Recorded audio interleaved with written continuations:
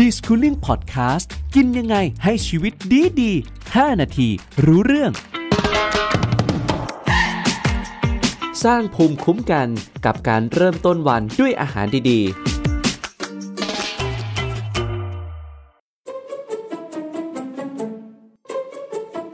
ทุกวันนี้นะครับสภาพอากาศโรคระบาดเนี่ยมันแย่มากเลยละครับ ทั้งฝุ่น PM 2.5 โรคระบาดใหม่ๆ ที่เรายังไม่เคยเจออีกเยอะ ซึ่งเราก็หลีกเลี่ยงปัญหาเหล่านี้ได้ยากมากๆเลยทีเดียวครับ แต่สิ่งหนึ่งที่ทำให้เราทำได้นั่นก็คือการหาตัวช่วย ตัวช่วยที่จะทำให้ร่างกายของเราเนี่ยมีภูมิต้านทานที่ดีมากยิ่งขึ้น นั่นก็คือเรื่องของอาหารการกินนั่นเองครับ ทุกวันนี้นะครับโลกของเราอยู่ยากมากยิ่งขึ้น เราก็เลยอยากจะให้อาจารย์เนี่ยพูดถึงการสร้างภูมิคุ้มกันจากอาหารการกินให้เราได้ฟังหน่อยดีกว่าครับ เขาบอกว่ารุ่นเราเจอโควิด ครับ แล้วรุ่นเรารุ่นลูกเราหลานเรา จะเจออะไรที่มากกว่าโควิด ครับ อันที่หนึ่งอันที่สองเขาบอกว่าโควิดสอนให้เรารู้ว่าคนที่มีภูมิคุ้มกันสูงครับคนนั้นจะติดโควิดยากและไม่ติดเลย หรือแม้จะติดก็หายเร็วครับนั่นบ่งบอกว่า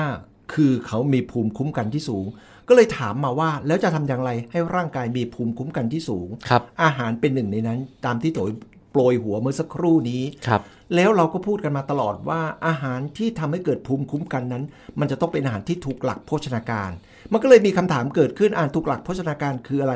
ก็แน่นอนครบ5หมู่ นะฮะอันต่อมาก็คืออาหารที่สะอาดปลอดภัย และเป็นอาหารที่มีรสกลางๆ ไม่หวานจัดมันจัดเค็มจัด แล้วเน้นพวกผัก เพราะผักและผลไม้มันไปสร้างภูมิต้านทานให้กับร่างกายมนุษย์ครับครับผม เพราะฉะนั้นอย่างที่เราคุยกันแบบนี้ครับอาจารย์ครับ แสดงว่าในแต่ละมื้อเนี่ยสำหรับใครที่มีความคิดว่า กินกินไปเถอะจะได้อิ่มท้องความคิดนี้เนี่ยไม่ใช่ละ แต่ยัง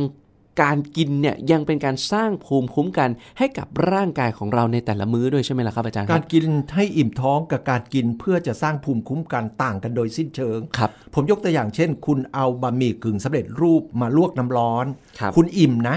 แต่คุณแต่อิ่มอาหาร คุณไม่ได้อิ่มสารอาหารครับแต่ถ้าคุณต้มน้ำร้อนให้เดือด แล้วตอกไข่หรือใส่ลูกชิ้น หรือเนื้อสัตว์ลงไปใส่ผักลงไป แล้วกินพร้อมกับเส้น คุณอิ่มทั้งอาหารและสารอาหาร สารอาหารที่คุณได้จากที่คุณเติมลงไปนี่แหละ มันจะไปทำให้เกิดสร้างภูมิคุ้มกันได้ดีกว่า ที่อิ่มแค่อาหารอย่างเดียวครับผมโอ้โหอาจารย์พูดเห็นภาพเลยนะ แต่อยากจะให้เห็นภาพชัดกว่านี้ครับอาจารย์ครับ ว่าวันหนึ่งเนี่ยเราควรจะกินอย่างไรให้เพียงพอกับการสร้างภูมิคุ้มกันต่อร่างกายของเราครับอาจารย์ครับ วันหนึ่งมี 3 มื้อเช้ากลางวันเย็น ขอเน้นว่ามื้อเช้าเป็นมื้อที่สำคัญมาก และเด็กส่วนมากไม่กินอาหารเช้า หรือกินอาหารเช้าไม่ถูกหลักโภชนาการ เด็กกินอาหารเช้าที่ไม่ถูกหลักโภชนาการนำมาซึ่งร่างกาย เจริญเติบโตช้า ภูมิคุ้มกันต่ำอาหารมื้อเช้าสำคัญ มื้อกลางวันก็ต้องกินถูกหลักโภชนาการ มื้อเย็นนี่แหละ พวกเราไปกินกันเยอะ พอกินกันเยอะปุ๊บ มันก็เลยทำให้เราอ้วนภาวะโภชนาการเกินนะครัฮะบก็กินให้พอดิบพอดี และเหนือสิ่งอื่นใดที่ผมบอกไปแล้วว่า อาหารจะเป็นเมนูไหนก็แล้วแต่ เมนูนั้นกินแล้วจะต้องไปสร้างภูมิคุ้มกัน นั่นก็คือครบ 5 หมู่ มีผักและผลไม้ ไม่หวานมันเค็มจนเกินไปนะครับ อาจารย์ครับไหนๆเราก็พูดถึงมื้อเช้าหลายๆ คนบอกว่าโอ้โห ก็สังคมแบบเนี้ยมันยุ่งมันวุ่นวาย บางคนเนี่ยถึงขนาดไปทานทีช่วงสายช่วงบ่ายช่วงค่ำมันจะส่งผลเสียยังไง และถ้าเรากินสิ่งที่มีประโยชน์แต่เช้าเนี่ยมันจะส่งผลดีต่อร่างกายของเรายังไงครับอาจารย์เราเอาคนสามวัยถ้าเป็นวัยเด็กกำลังเรียนหนังสืออยู่ไม่ได้กินอาหารเช้าครับ10โมงเช้าพลังงานหมด พอหมดปุ๊บไม่มีสมาธิในการเรียนครูพูดหูซ้ายทะลุหูขวา มีงานวิจัยหลายชิ้นเขาออกมาบอกว่า เด็กที่ได้กินอาหารเช้าอย่างมีคุณค่าทางโภชนาการ เอาผลการเรียนของเด็กที่กินอาหารเช้าถูกหลัก และกินทุกวันไปเปรียบเทียบกับเด็ก ที่ไม่ได้กินอาหารเช้า เด็กที่กินอาหารเช้าจะมีผลการเรียนดีกว่า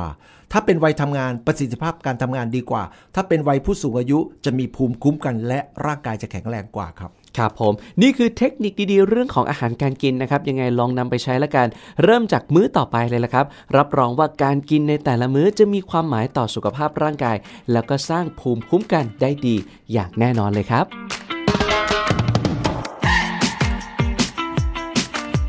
The s c o o l i n g Podcast กินยังไงให้ชีวิตดีดี 5 นาที รู้เรื่อง